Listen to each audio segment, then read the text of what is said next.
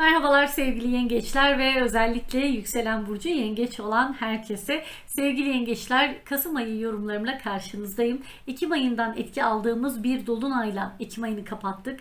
Boğa burcunun 7 derece 8 derecesindeydi bu dolunay ve buna bir mavi ay diye isim taktık.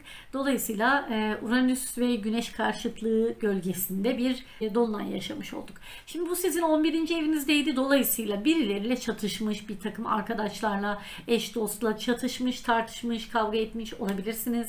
E, kim dost, kim düşman biraz bu gölgelenmiş olabilir. Ayırt edemiyor olabilirsiniz. Biri birinin hakkında konuşmuş, aleyhine konuşmuş. Bunu türetmiş ve sizin üzerinize kalmış bile olabilir. Şimdi Kasım ayına evet şanslı bir dönemle başlıyorsunuz.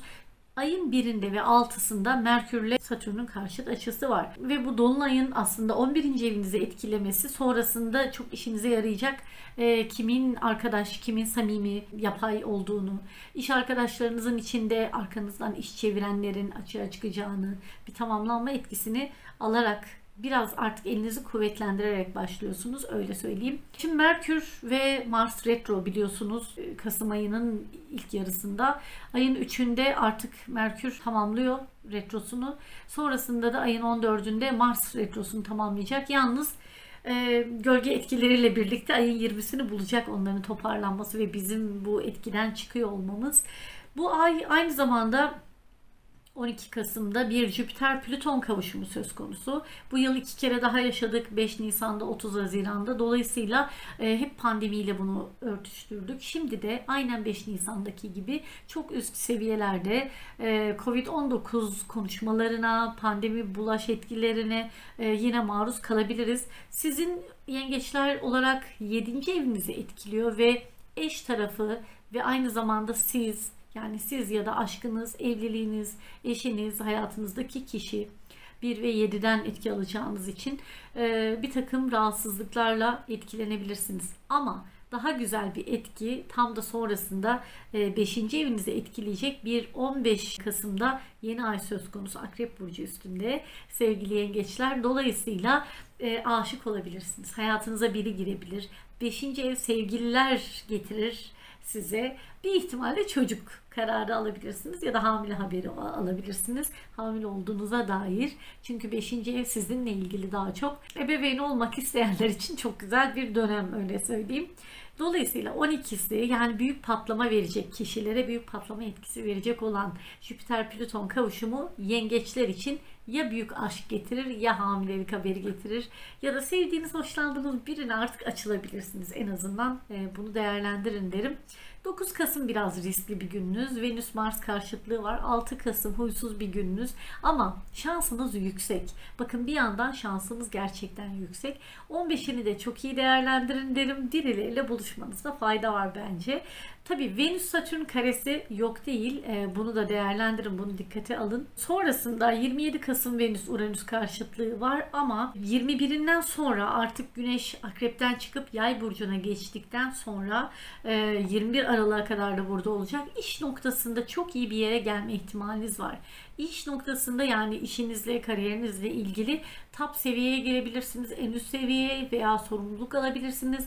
Ben sorumluluk almak istiyorum diyebilirsiniz. Veyahut da iş değişikliği planlıyorsanız bu kolaylaşacak. İş değişikliği planlıyorsanız önünüze kendiliğinden belki çoktandır başvurmuş olduğunuz ve sonuç alamadığınız bir iş gelebilir. Onlar davet edebilir, rakip davet edebilir. İşle ilgili sizi coşturacak, sevindirecek e, bir döneme giriyorsunuz. 21 Kasım 21 Aralık arası gayet güzel bir döneminiz sevgili yengeçler.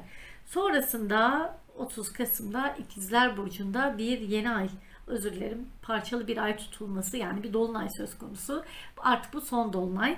Bu sizin 12. evinizde. Dolayısıyla biraz psikolojinizi yıpratabilir.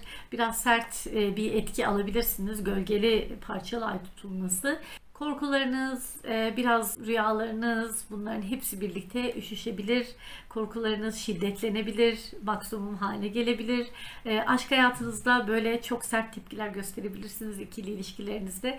Bunlar önemli. Biraz sakin, dingin kalırsanız birkaç gün sürer, üç gün sürer etkisi. Gerçi sonraki ay tutulmasına kadar sürebilir ama e, Aralık ayında biraz enerjiniz düşük başlayabilirsiniz. Biraz da sağlığınızla ilgili belki bir ruh sağlığınızla ilgili sıkıntı yaşanabilir. 12. evden etki alırsanız 12 ve 6 birlikte çalışacağı için fiziksel sağlığınıza da özen gösterin. Ev kazalarına, basit kazalara özen gösterin derim. Bu ay tutulması sizi hem 6'dan hem 12'den etkiler sevgili yengeçler. Dolayısıyla ayın ilk yarısında biraz daha malefik etkiler fazla ama ayın 12'sinden sonra çok coşkulu bir döneme giriyorsunuz. 12'sine 15'ine özellikle özen gösterin derim. İşle ilgili 21'inden sonra güzel haberler var. Para konusunda 12-15 arasında alacağınız kararlar, e, vereceğiniz tepkiler 12'si, 13'ü, 14'ü, 15'i hızlıca yol almanızı sağlayabilir. Ayın 9'una biraz dikkat, 6'sına biraz dikkat e, demek durumundayım. Bir de 27'sinde Venüs-Uranüs karşıtlığı var. Ondan da biraz moral bozukluğuyla 12. ev etkisi gibi etki alabilirsiniz. Bunlara da özen gösterin derim sevgili yengeçler. Sorularınızı bekliyorum. Görüşmek üzere. Hoşçakalın.